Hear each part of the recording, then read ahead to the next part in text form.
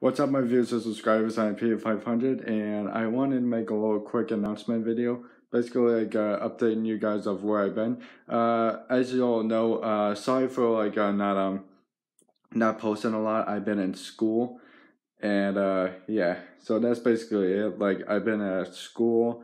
I've been doing a lot of uh, homework. Like you never get a break from it, and uh yeah, that's basically like a update.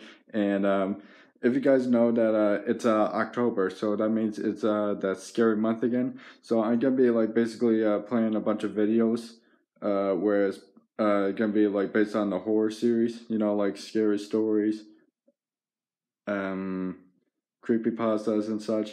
And also, I'm gonna be working on uh, another top ten list of the most haunted places. So I hope you guys are looking forward to that. And also, I'm going to be like uh, doing this thing where I'm going to be uh, uh, replaying a thing called the Midnight Game. And if you guys don't know what that is, I basically uh, you guys uh, sh- should uh, go check it out so you guys kind of have a feeling to what it is. Oh my god, look at my hair! It's starting to get all curly, man. And you can really see my goatee.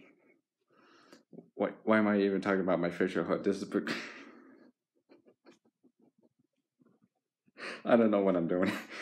oh man. So basically, I'm gonna be like uh doing this thing called the Midnight Game. So um, I recommend that you guys uh go see uh what that is, so you basically have an idea to it.